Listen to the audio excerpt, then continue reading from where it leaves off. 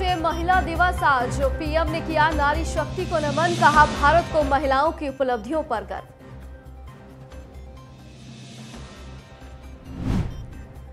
कांग्रेस की रणनीतिक बैठक, आज प्रदेश के दिग्गज रहेंगे मौजूद। एआईसीसी के कई नेता भी होंगे शामिल।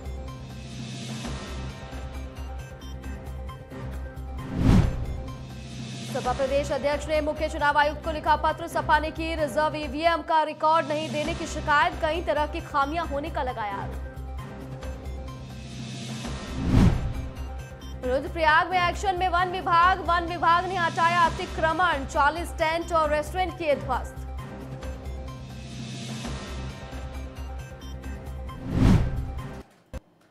नमस्कार, आप देख रहे हैं न्यूज़ वन इंडिया और आपके साथ मैं हूँ काजोल नारायण, शुरुआत करेंगे खबरों की। देश और दुनिया में अंतर्राष्ट्रीय महिला दिवस मनाया जा रहा है। इस दिन दुनिया के बहुत से देशों में महिला उपलब्धि को सराहा जाता है और कई तरह के कार्यक्रम का आयोजन भी किया जाता है। इस मौके पर प्रधानमंत्री नरेंद्र मोदी ने भी अंतर्राष्ट्रीय महिला दिवस पर नारी शक्ति को नमन किया है। उन्होंने कहा है कि केंद्र सरकार सम्मान और अवसरों पर विशेष ज़ोर के साथ अपनी कई योजनाओं के ज़रिए महिला सशक्तिकरण पर अपना ध्यान केंद्रित करती रहेगी। उन्होंने ट्वीट किया भारत की विकास यात्रा में अपनी नारी शक्ति को आगे रखने के लिए वित्तीय समावेशन में सामाजिक सुरक्षा, गुणवत्तापूर्ण स्वास्थ्य, देखभाल से लेकर आवास, शिक्षा से लेकर उद्यमिता जैसे कई प्रयास किए गए। आने वाले समय में ये प्रयास और जोश के साथ जारी रहेंगे।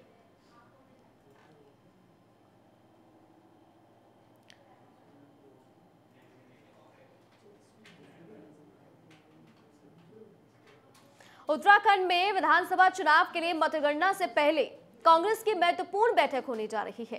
प्रदेश कार्यालय होने वाली इस रणनीतिक बैठक में प्रदेश के दिग्गज नेताओं के अलावा अखिल भारतीय कांग्रेस कमेटी से जुड़े कई नेता, अन्य प्रदेशों के मंत्री विधायक और पर्यवेक्षक भाग लेंगे। 10 मार्च को मतगणना से पहले ही कांग्रेस के राष्ट्रीय नेताओं का देहरादून पहुँचने का सिलसिला शुरू हो जाएगा।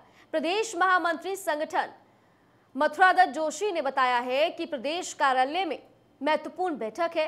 इसमें पूर्व मुख्यमंत्री हरीश रावत, प्रदेश अध्यक्ष गणेश गोदियाल, नेता प्रतिपक्ष प्रीतम सिंह, प्रदेश प्रभारी देवेंद्र यादव, तीनों सह प्रभारी दीपिका पांडे सिंह, कुलदीप इंदौरा राजीव धर्माणी, मुख्य पर्यवेक्षक मोहन प्रकाश जोशी भी भाग ले रहे हैं। देखिए, चौदह तारीख को उत्तराखंड में वोट डले और सभी विधानसभा सीटों पर एक ही दिन वोट डाले गए थे, लेकिन 10 मार्च को मतगणना का इंतज़ार बहुत ही बेसब्री से उत्तराखंड में किया जा रहा है, जहाँ कल बीजेपी की एक महत्वपूर्ण बैठक हुई है तो आज कांग्रेस भी एक महत्वपूर्ण बैठक कर रही है। और इसी खबर पर ज़्यादा अपडेट के लिए हमारे उत्तराखंड स्टेट हेड सुभाष गौड़ हमारे साथ जुड़ गए हैं। सुभाष, पहले बीजेपी बैठक करती है, आज कांग्रेस बड़ी बैठक करने जा रही है। क्या लग रहा है? एग्जिट पोल भी सामने आ चुके हैं। कांग्रेस बहुत ज़्यादा पीछे नहीं है बीजेपी से। बिल्कुल बैठकों का जो दौर था, ये पहले ही डिसाइड कर दिया गया था और जिस तरीके से बीजेपी ने कहा था कि वो महत्वपूर्ण बैठक सात तारीख को आहूत करेगी, जिसमें तमाम प्रत्याशियों को भी बुलाया गया था तो उसी का जो बैठक पहले से ही कांग्रेस द्वारा जानकारी इसकी दे दी गई थी। और इसके लिए सबसे महत्वपूर्ण चीज़ ये है कि कांग्रेस ने भी अपने सभी प्रत्याशियों को राजधानी देहरादून में बुलाया था। इसके साथ ही प्रदेश प्रभारी सहित हरीश रावत नेता प्रतिपक्ष प्रीतम सिंह और तमाम जो बड़े चेहरे हैं कांग्रेस के वो सभी इस बैठक में मौजूद है। सबसे बड़ी चीज़ ये है कि चुनाव में किस तरीके से और उसके साथ ही अब क्योंकि दस तारीख को मतगणना होनी है और मतगणना को लेकर किस तरीके की तैयारी की जाएगी और किस किस की ज़िम्मेदारी मतगणना को लेकर की जाएगी, उस पर मेन फोकस इस बैठक में रखा जाएगा। इसके अलावा पर और ईवीएम पर भी नज़र रखने के लिए कहा गया है क्योंकि कांग्रेस लगातार ये सवाल खड़े कर रही थी कि कहीं ना कहीं गड़बड़ी ज़रूर की जा रही है पोस्टल बैलेट जैसे जो पोस्टल बैलेट है उसको लेकर और ऐसे में कहीं ना कहीं कांग्रेस के सभी जो कार्यकर्ता है या बूथ लेवल के कार्यकर्ता है जिनको ज़िम्मेदारी दी जाएगी अपने अपने बूथ पर अपने जिलों में उन सभी को सतर्क रहने के लिए भी कहा गया और साथ ही ये भी कहा गया है कि तमाम जो नेता हैं, वो कहीं ना कहीं नज़र रखें और उन जो निर्दलीय प्रत्याशी जिन पर उम्मीद की जा रही है कि निर्दलीय प्रत्याशियों की जीतने की संभावनाएँ ज़्यादा है। सुभाष देखिए अगर एग्जिट। पोल्स की हम बात करें तो एग्जिट पोल में कांग्रेस को अच्छा खासा वर्चस्व दिखाया जा रहा है लेकिन बीजेपी पे पीछे नहीं है। लेकिन अगर बात करें जैसे कि आप अभी कर रहे थे निर्दलीय जो पार्टियाँ हैं वो भी किंग मेकर साबित हो सकती हैं। इसको लेकर कांग्रेस के बीच किस तरह का तूफ़ान देखने के लिए मिल रहा है?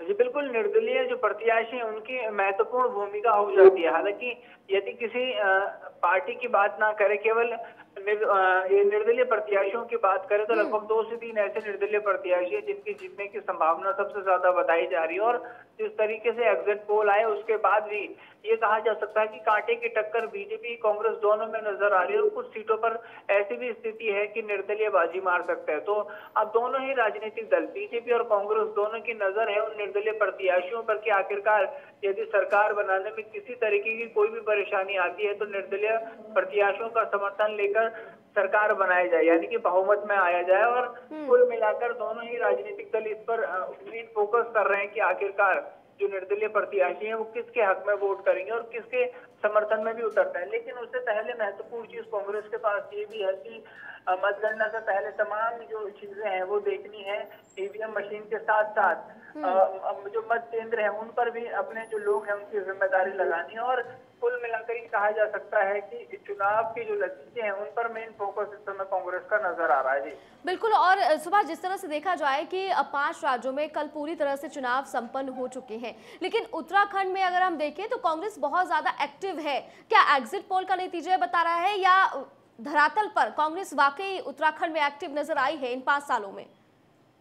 बिल्कुल अगर एक्टिव की बात की जाए तो लगातार ये देखा जा रहा था कि कांग्रेस के प्रदेश अध्यक्ष हैं गणेश कोटियाल। वो रोज़ाना कुछ न कुछ बातों को लेकर ज़रूर अपनी विपक्ष की जो भूमिका जो पाँच सालों में वो नहीं निभा पाए, वो निभाते हुए नज़र आए मतगणना के बाद से ही और मतदान के बाद से। और ये भी देखा जा रहा था कि एक्टिव मोड पर ज़रूर कांग्रेस नज़र आ रही थी, क्योंकि उन्हें लग रहा था कि इस बार कहीं ना कहीं उनकी सरकार बन सकती है, उनके विधायक ज़्यादा संख्या में जीत कर विधानसभा पहुँच सकते हैं। और यही वजह है कि उत्साह काफ़ी ज़्यादा कांग्रेस में नज़र आता है, लेकिन इसके साथ ही बीजेपी ने भी महत्वपूर्ण बैठक की और अपने जो प्रत्याशी हैं या फिर कार्यकर्ताओं को मोटिवेशन करने की कोशिश की, उनमें भी एक ऊर्जा जगाने की कोशिश की। तो कुल मिलाकर ये कहा जा सकता है कि 10 तारीख को नतीजे सबके सामने होंगे, लेकिन उससे पहले कहीं ना कहीं दोनों ही राजनीतिक दल प्रदेश में अपनी सरकार बनाने की बात ज़रूर करते हुए नज़र आ रहे हैं। जी बिल्कुल सुभाष, शुक्रिया। तमाम जानकारी पहुँचाने के लिए आप नज़र बना के रखिएगा। अपडेट लगातार आपसे हम लेते रहेंगे।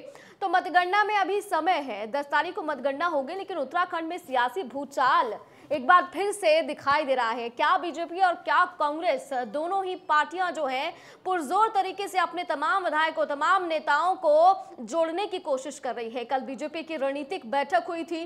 उसके बाद आज कांग्रेस की रणनीतिक बैठक होने जा रही है, जिसमें देश भर के तमाम जो बड़े चेहरे हैं कांग्रेस के, वो शामिल हो सकते हैं। जिस तरह से एग्जिट पोल्स में कांग्रेस को कहीं ना कहीं बढ़त मिल रही है उत्तराखंड में तो इससे कांग्रेस के मंसूबे जो हैं, वो सातवें आसमान पर है। अगर कहा जाए एक आम भाषा में तो लड्डू बटने भी शुरू हो गए होंगे, क्योंकि कांग्रेस कई महीनों से, या हम कहें कि इन पाँच सालों में ये मानती आई है कि वो उन- उन्होंने काम किया है उत्तराखंड में और उसी काम के बलबूते पर वो एक बार फिर से सत्ता पर काबिज होगी। लेकिन बीजेपी भी पीछे नहीं है। पुरजोर तरीके से जो पूरी रणनीति है, उसकी तैयारी बीजेपी ने भी की हुई है। खैर एग्जिट पोल में तो दोनों ही पार्टियों को काफ़ी अच्छी जो पॉइंट्स है या हम कहें कि काफ़ी अच्छी जो सीट्स है वो दिखाई दे रही है। लेकिन ये तो वक्त ही बताएगा कि ताज जो है वो किसके सर पर सजने जा रहा है। क्या गठजोड़ होगा? किसके साथ सीटों का गणित बैठेगा? ये 10 मार्च को साफ़ हो जाएगा। चलिए आगे बढ़ते रुक करेंगे कुछ और खबरों का। उत्तर प्रदेश कांग्रेस कमेटी की तरफ़ से आज अंतर्राष्ट्रीय महिला दिवस के अवसर पर महिला सशक्तिकरण का संदेश देते हुए, लड़की हूँ, लड़ सकती हूँ, महिला मार्च आयोजित किया जाएगा। कांग्रेस की राष्ट्रीय महासचिव प्रियंका गांधी महिलाओं के अनूठे मार्च का नेतृत्व करने वाली है।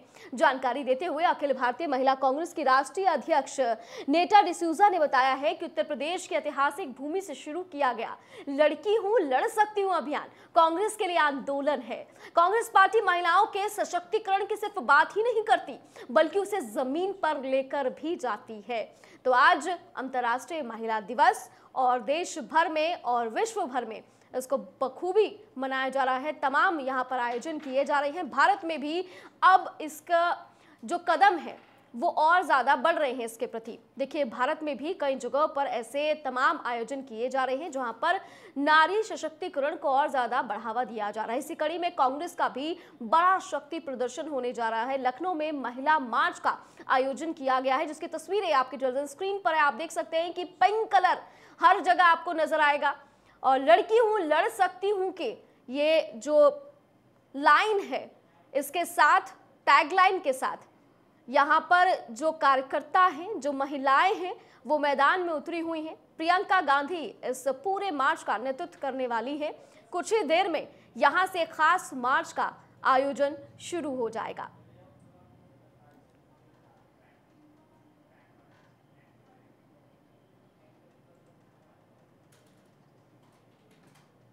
उधर सपा के प्रदेश अध्यक्ष नरेश उत्तम पटेल ने मुख्य चुनाव आयुक्त को पत्र भेजकर मतदान के दौरान ईवीएम में कई तरह की खामियाँ होने का आरोप लगा दिया है। उन्होंने बताया कि फतेहपुर में सभी छह विधानसभा क्षेत्रों में मतदान होने के बाद बच्ची, जो रिसीवर और अतिरिक्त ईवीएम और वीवीपैट मशीनों का रिकॉर्ड है, वो नहीं दिखा जा रहा है। शेष ईवीएम और वीवीपैट मशीनें किसी स्ट्रांग रूम में राजनीतिक दलों और प्रत्याशियों के सामने सील भी नहीं की गई। इससे दुरुपयोग की आशंका है। इसी तरह बस्ती में स्ट्रांग रूम के पास प्रत्याशियों के नाम की पर्चियाँ फेंके और जलाए जाने और ईवीएम के सील टैग बड़ी संख्या में फेंके और जलाए जाने की शिकायत मिली है।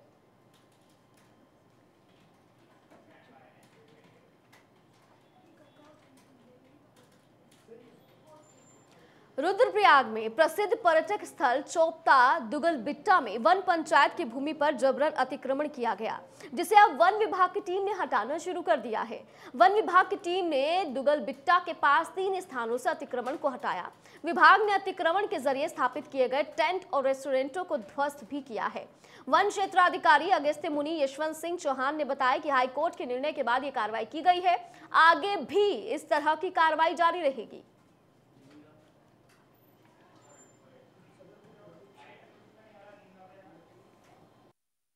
हमने कानूनी कार्रवाई की है और जिस क्षेत्र में अतिक्रमण तोड़े गए हैं, वो हाईकोर्ट के निर्णय की से आच्छादित, वो क्षेत्र है।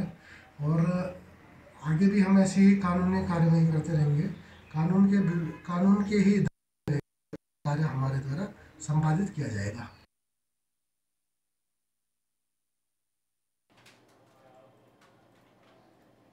पीलीभीत के थाना सोनगढ़ी इलाके में भाई बहन बाइक से कोचिंग जा रहे थे। इसी दौरान बाइक की रोडवेज़ बस से टक्कर हो गई, जिसमें भाई की मौके पर ही दर्दनाक मौत हो गई। वहीं बहन गंभीर रूप से घायल है। घटना की जानकारी मिलते ही मौके पर पहुँची पुलिस ने शव को कब्जे में लेकर पोस्टमार्टम के लिए भेज दिया। घायल लड़की को अस्पताल में भर्ती कराया गया है। कुछ सड़क दुर्घटना और दो लोग घायल हुए किस तरीके की हालत है और क्या ट्रीटमेंट दिया जा रहा है? अभी एक रोडवेज़ बस से और एक मोटरसाइकिल की टक्कर हो गई है। उसमें लड़ाई खड़ा के दो बच्चे आए थे अभी। और लड़की की हालत सीरियस है शिवानी की और जो शिवम थे वो ब्रॉड डेड आए थे एक्सपायर आए थे अस्पताल में। तो लड़की की जो हालत है वो किस तरीके की बनी हुई है अभी बहुत बेहोश है और उसे तुरंत सेंटर को रेफर करा गया है। यूक्रेन के राष्ट्रपति जेलेंस्की पोलैंड भागने की अफवाहों को खारिज करते हुए राष्ट्रपति भवन में टहलते नज़र आए। जेलेंस्की ने एक वीडियो पोस्ट करके कहा है कि मैं राजधानी कीव में ही हूँ और किसी से नहीं डरता हूँ। यूक्रेनी राष्ट्रपति ने यह भी कहा कि वो किसी बंकर में नहीं छुपे हैं और तब तक कीव में मौजूद रहेंगे जब तक देशभक्ति से भरे इस युद्ध को जीतने के लिए ज़रूरी होगा। माना तो यह भी जा रहा है कि जेलेंस्की ने राष्ट्रपति भवन से अपना वीडियो जारी करके रूस और अपनी जनता को संदेश दिया है। जेलेंस्की ऐसे समय पर दुनिया के सामने खुलकर आए हैं, जब रूस की सेना ने राजधानी कीव को चारों ओर से घेर रखा है और उसकी पकड़ लगातार मज़बूत होती जा रही है। जेलेंस्की ने देश छोड़कर जाने के ऑफ़र को स्वीकार करने की बजाय अपने दर्शकों को आश्वासन दिया है कि वो उनके अन्य सहयोगी राजधानी में बने रहेंगे।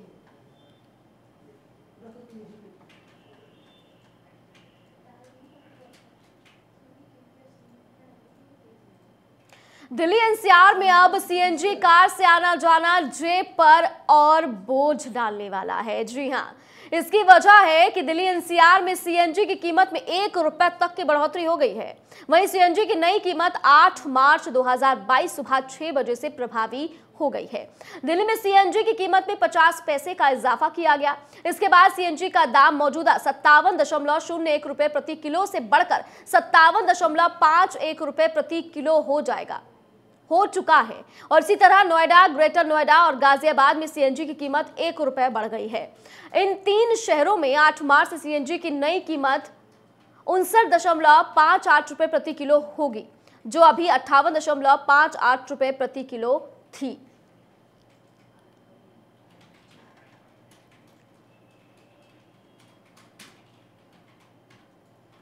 पाँच राज्यों में विधानसभा चुनाव की मतगणना में अधिक वीवीपैट पर्चियों की ईवीएम से मिलान की मांग पर सुप्रीम कोर्ट कल सुनवाई करने जा रहा है। कोर्ट ने चुनाव आयोग के वकील से सुनवाई में मौजूद रहने को कहा है। आंध्र प्रदेश के पूर्व सीएम चंद्रबाबू नायडू की याचिका पर अदालत सुनवाई करेगा। याचिकाकर्ता ने कहा है कि पाँच बूथों का वीवीपैट ईवीएम मिलान होना चाहिए। सुप्रीम कोर्ट ने कहा है कि परसों यानी कि 10 मार्च को मतगणना है। देखना होगा कि अब कोई आदेश दिया जा सकता है या नहीं। बता दें कि उत्तर प्रदेश, उत्तराखंड, पंजाब, मणिपुर, गोवा में हुए विधानसभा चुनाव के नतीजे 10 मार्च को घोषित होने जा रहे हैं। पिछले कुछ चुनावों के बाद विपक्ष ईवीएम पर सवाल उठाता रहा है। हालाँकि चुनाव आयोग की तरफ़ से ईवीएम को क्लीन चिट कई बार दी जा चुकी है।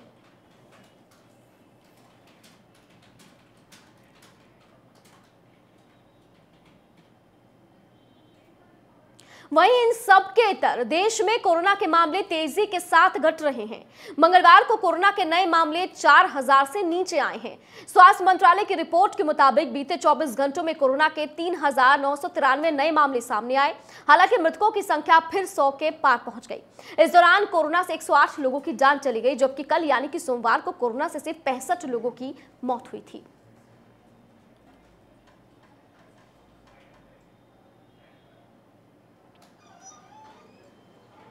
और इसी के साथ फ़िलहाल खबरों में इतना ही। बाकी खबरों के लिए आप बने रहिए न्यूज़ वन इंडिया के साथ।